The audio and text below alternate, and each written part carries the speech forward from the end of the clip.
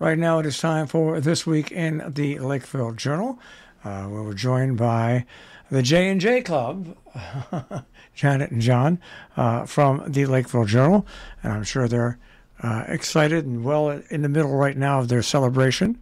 We say good morning to Janet and to John. Good morning. Good morning. Good morning. All right. Uh, well, uh, your the celebration has begun. Um, 125 years, opened up with a reception for the art show, then had that marvelous street fair.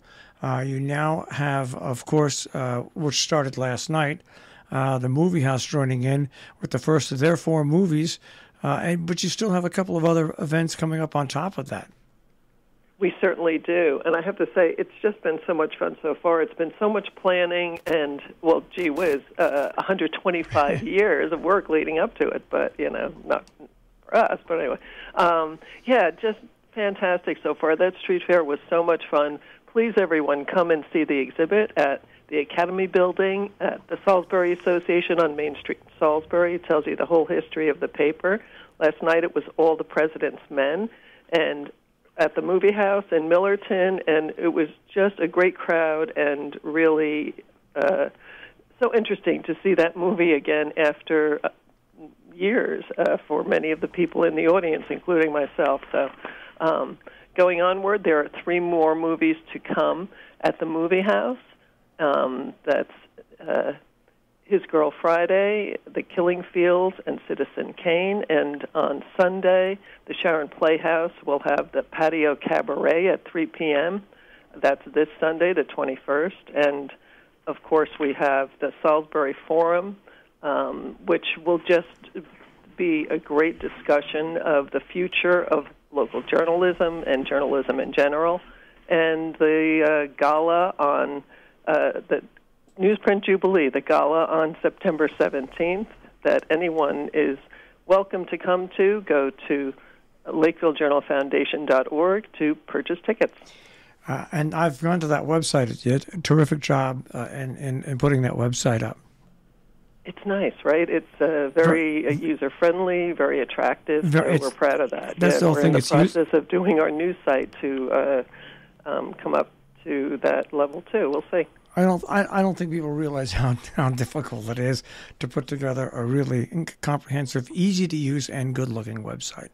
Uh, but uh, I went to the I went to the site, and uh, it really is a great site. So uh, I look forward to uh, uh, upgrading in the future on your on your regular site, which, by the way, is very easy to use as well, uh, oh, going to tricornernews.com. And you know, it has a lot more uh, content on it than most websites, our site, because of course we uh, update it every week with lots of news. So it, it is uh, complicated to uh, look at different designs, and uh, we are looking forward to that, though. Thanks for that, Marshall. Right. For using the site. Everybody should use it. TricornerNews.com. Absolutely. and, you know, if I could just give a shout out to the you know, approximately 20 nonprofit organizations that were taking part in participating in our street fair.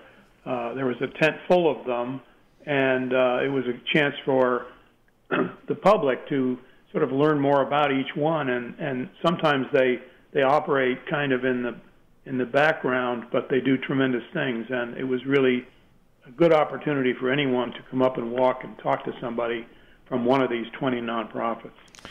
All right, we will move on to the front page of uh, the Lakeville Journal. Of course, uh, people can see the stories about the 125 year celebration, pictures and stuff all throughout the paper. But uh, you also have uh, a couple of uh, stories. First of all, uh, the GOP put up their gave their nod for Senate, and it goes to Levy, who's going to run. Yes, Levy is um, one, one handily um, Leora Levy for U.S. Senate. She will. Uh, uh, she defeated uh, House Minority Leader Themis Klarides and Peter Lumaj, and I believe the next step will be, you know, she's going to go up against uh, Rick Dick Blumenthal in in the November general election. Uh, voter turnout was about 20 percent. I don't know where that stands. I'm not familiar enough with how Republican primaries uh, fall out here, but 20 percent was where we were at. All right. Democrats uh, turned out a little less, 14%. Yeah, yeah I, th- I think that's a that's probably a, nor- a normal a normal thing. And it'll maybe uh, when you go into a, a full slate election year, uh, you know that's that, that's just just not as small as this. It's a little larger, but uh, turn turnout in the primaries is, is traditionally right around I'll say 15 to 20 percent. Um, got a story there on uh, the annual Sharon Triathlon. Uh, once again, uh, they had a few less people, but it's still an amazing thing to see these people uh, run, bike, and, and, and do what they do. Right. It is a uh, it is an annual event that is uh, really a, not only an athletic event but a family event, and uh, it, it involves swimming, biking, and running. Uh, we had a couple of you know winners there, of course, and there was a uh, it was a beautiful day for it. Uh, so it was just one of those uh, great great Sunday afternoon. I guess it was on Saturday afternoon uh, events. All right, and uh, an important story uh, that you uh, are running from the Conne- a report from the Connecticut Mirror about insurers being grilled on the rate hikes that people are seeing. Yes, we chose to run this because it affects so many of our own uh, employers here in the northwest corner. Um, insurers this year are, on average, asking for about a 20.4% increase, which is substantially higher than what they saw last year. So the state insurance department held a hearing on on Monday uh, and uh, let people talk about what they thought. Uh, the next step will be will be for actuaries on, on the state's insurance uh, department to figure out what really makes sense and what's fair, come back with a response. Um, and I think we will find out in either late August or early September whether or not uh, these rate hikes will hold or whether they'll be chopped or see. All right, uh, as we as we move on, nice uh, little picture there. Uh, the Salisbury Visiting Nurse Association gave out scholarships. That's a big deal. Uh, those are those are great scholarships that were uh, ten thousand dollars per year for up for up to five years for students seeking uh, careers in medicine or in nursing, uh, whether it be a family family nurse practitioner or health science or even uh, physical therapy or exercise therapy, medical imaging. But that's a, cons- a substantial amount of uh, contribution by the Salisbury Visiting Nurse Association. Five students received these scholarships. All right, and uh, uh, this weekend, uh, a nice fundraiser, which is a fun fundraiser uh, for the DM Hunt Library on Sunday. Yes, uh, that's going to be, uh, you know, it, it would coming up on Sunday. It'll be outdoors on the lawn. There'll be food, beer, pretzels, music, you know, lemonade, everything. So um, I guess everybody's looking forward to that. It's supposed to be nice weather. Uh, we'll move on to uh, a, a, story by Leila Hawken, partnering to build regional pollinator pathway. Yes, this story uh, has been. We are we are sort of out front a little bit on this story because it is the beginning and planning stages uh, in a, in a partnership between really three groups: the National Park Service, uh, the Upper Housatonic Valley National Heritage Area, which runs basically from north of Pittsfield to Warren, and Rotary District 7890. So Rotary, uh, you know, has recognized the, the critical need to take care of really thousands of species of bees and other insects that are uh, that are suffering from uh, lack of pollination abilities. And so the they've signed up and and 56 Rotary clubs will be promoting this, um, and it, it extends, as I said, all the way from uh, north of Pittsfield through our region. And uh, there's a separate companion pathway um, that will reach between the Hudson and the Housatonic. Now, you have a picture in the paper, and uh, last week I received uh, a couple of calls uh, the day before this happened asking me if I could do something about the taking down of a tree. And I called and I spoke to why they were taking down the tree. and uh, it seemed it seemed reasonable to me. Uh, when that tree came down, I'm talking about the beautiful Dutch elm uh, in front of the town hall. It's about 300 years old. Uh, it had to come down, and when they took it down uh, and laid the chunks on its side, you could see uh, huge sections of the tree were rotted, actual hollow inside. So it would have only been a matter of a very short time before that tree came down. Uh, but that's Right. it. Still is a big story. Yes, and it was uh, the the tree warden. Uh, we interviewed the tree warden in Sharon about this, and uh, it it is one of it was one of nine um Dutch elms located on the green, but because of storms and Dutch elm disease and other things, um, this, the town is now down to three. So we have a Leila Hawken, our reporter in Sharon, took a great shot of the tree right in front of town hall. If you would look at old pictures of the Sharon Town Green, uh, when all the trees were there, absolutely, it was stunning. It was amazing. And yes, it's sad to see the tree go, but like I said, once you saw what it looked like on the inside, it's such a big tree, and had it fallen in the direction of houses and the town hall, it would have created immense amount of damage. So um, it's sad, but it had to come down. Um, another great event that happened in our area, and uh, it's funny when I publicized it, somebody called me and said, "Oh, that happened uh, last week when they had the singer." I said, "No, no, no, no, no. Uh, the Taste of Cornwall went on, and you've got a great story uh, on the Taste of Cornwall, the music and the food, and and, and, and how they did that." Yes, uh, you're you're probably referencing Wanda Houston Houston at uh, Noble Horizon. Well, Um, yeah, yeah, and also she was in. Cor- Uh, she's been all over the corner this this year, and this was just a great event put on by uh, by by Cornwall. I mean, and the merchants all chipped in as well. Yes, it was an, an inaugural event, and uh, everybody loved it. The food was from local farms, Hurlbert's Farm, beef brisket, uh, Susie's Bakery, Gaff and Clover Creamery. Um, people uh, ate, and uh, even some of them danced. Was uh, the first one, and the uh, I guess the they wanted to bring some summer fun to Cornwall, and I guess they did. All right, and you've got a story of the North Canaan Planning and Zoning uh, was busy. They gave approval of the major thing to an uh, office renovation at Mountainside, which actually uh, came about because of the pandemic, and uh, and and immediately the Planning and Zoning Commission moved to, to let that allow uh, and go through quickly. Yes, they had a public hearing because Mountainside lost three offices. Well, they were changed over during the pandemic to, to accommodate teleconferencing. So they're now going to, without expanding their footprint on the lot, they're going to create three new offices to regain the space that they had lost.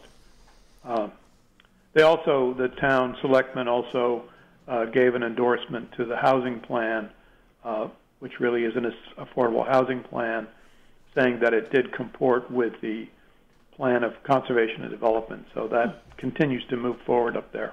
And uh, and, and a great story about uh, dealing with bl- with uh, black bears from the uh, Department of Environmental Protection in Cornwall.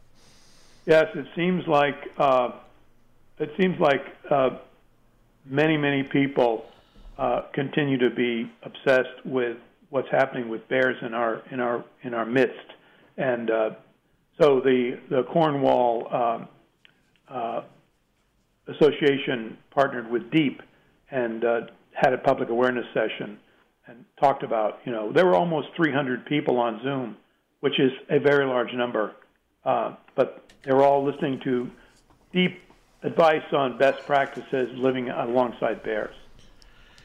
Uh, well, you see it in pictures on, on social media and all. The bears are everywhere, and uh, we we took over their territory, and they're reclaiming some of it back. It's just uh, the balance of nature. Uh, And so- there's also there's also a reference in the story to um, there's a there's a bear themed community art project in Cornwall, which is for the benefit of the Cornwall Food and Fuel Fund. Uh, so people can buy those bears. If you drive around, you'll see them. They're there's cutouts of bears, very colorfully painted. All right. Uh, in the obituary section, uh, uh, Ronald Martin's uh, Solon uh, obituary, but also Richie Crane, uh, who is just noted for the business that he and his family run in North Canaan, passed away as well.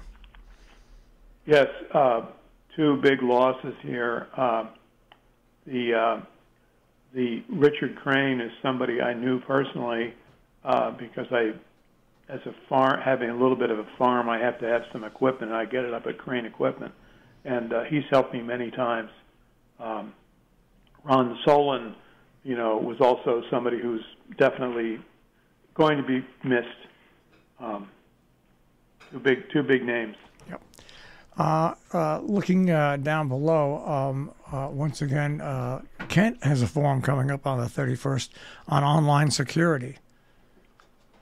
Yes, they have. Uh, it's it's being sponsored by the library, Memorial Library, and uh, Michael Jay is a certified Apple teacher and owner of Personal Tech Support.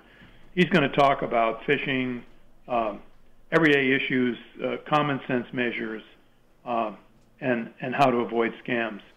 Uh, it seems like they never go away. No, no, they multiply. As a matter of fact, yeah. uh, we'll go on to the opinion pages now. Johnny, your editorial collected moments in newspapers or history. That's right. Uh, this week, like last week, we have a combination of editorials from. Uh, this one's from Cynthia Hochswender, who's now our Compass and Special Sections editor, but of course was executive editor on the news side for more than 20 years, and uh, tell, tells us how she sees the place of the Lakeville Journal in our communities. And John Coston, the uh, my partner here on the radio, talks about service to community now and future. Uh, and I talk about gratitude for uh, the past weekend and all the celebrations that so many are helping us take part in. Um, so please do join us as as we move forward with them, and thank you for all the uh, um, involvement from everyone in the community, including those nonprofits John mentioned, and they are listed um, in the paper this week, so don't miss that. We have loads of letters this week of all different topics, um, so do give those a read and uh, send us a letter.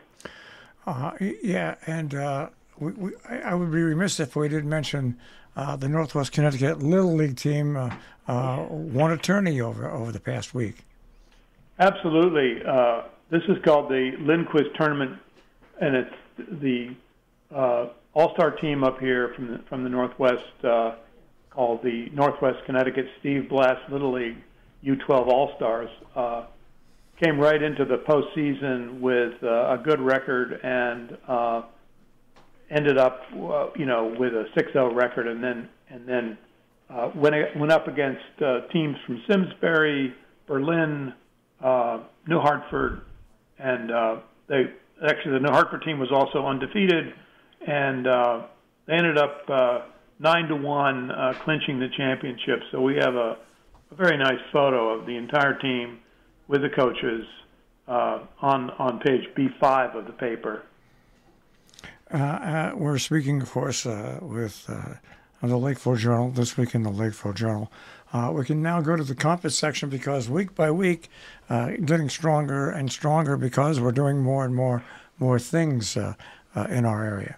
That's right. this week, don't miss the Tri-Corner calendar in Compass, which has many events under all the uh, interests that you have, and of course, there's more online at tricornernews.com. Uh, choices of things to do. Um, in in the compass, Cynthia Hochswender writes about finding her way back to the kitchen and what to make out of the garden. Her recipe this week is zucchini fritters, and I bet there are plenty of listeners who have zucchini they'd like to do something with that will taste really good, and this is it. Um, she makes it with a tomato and bacon jam. How can that be bad? It can't. um, and uh, there is a who done it happening, a murder on the Oriental Rug in Claverack, New York, August 20th, um, at the uh, uh, Foundation Gallery, and give that a read. And if it's of interest, it looks like fun. Do do it. Uh, Danielle Mailer and Annie Jenkins have a show at the DM Hunt Library in Falls Village, and there's a beautiful photo of one of uh, um, Danielle Mailer's paintings, which are so unique and immediately recognizable. Her style is so uh, uplifting. And Lance Christensen writes about cool cars, the Oh. rarest of the rare, a Peugeot 145S, and he has uh, great photos, as he always would, and talks about what's so special about that vehicle. We have Cynthia writing about um, Ghost of a Dream, a new show at the Geary on Main Street in Millerton. Uh, go over and take a look. It really uh, dreamy, uh, surreal-looking paintings. Uh, don't miss them. And writers read their work at the DM Hunt Library. Uh, that is coming up, and uh, don't miss that. We have also the Joint Chiefs performing at the Egremont Barn. This is a new venture for them, so if you are fans of the Joint Chiefs, and I know there are many in this listening area, do um, look them up. They will be there on Saturday, August 27th. All right. And, you know, one thing we point out, uh, Janet, looking at your 125th uh, anniversary birthday of the Lakeville Journal, uh, people who work in media, such as yourself, and I'll include people that work here and, and other media outlets, we are stewards. We, you know, our our our organizations, the businesses, are are, are long time, and we only get to be with them and and run them for a period of time when other people run them, and that's that shows how truly valuable something is in a community when when you when you know that ownership. And now ownership isn't going to change because the Lakeville Journal has become a non-for-profit. But the people who work and run at it truly are soldiers in the fight for information, and they change uh, maybe on a decade by decade, decade basis, uh, and that's how important uh, uh, media is in our area. Well, that's right, and uh, that certainly was our goal, looking at um, the longevity of the Lakeville Journal and how to have it survive moving forward um, in a very difficult climate for small media. Um, that's how we decided to try to go nonprofit, and this is our approach to being sure something will be here for that next generation, and we look forward to that. All right. Well, I uh, appreciate what you guys are doing. We look forward to the next movie uh, series. We look forward uh, to uh, the Salisbury Forum and, of course, the Jubilee at the end. Uh, thanks for joining us again this week. Thank you. Thank you, Marshall. All right. Uh, that is this week in the Lakeville Journal. Uh, of course, you can find the Lakeville Journal at tricornernews.com. That's tricornernews.com. And here at Robin Hood Radio, on our on demand page, robinhoodradio.com, click on on demand and click on uh, This Week in the Lakeville Journal.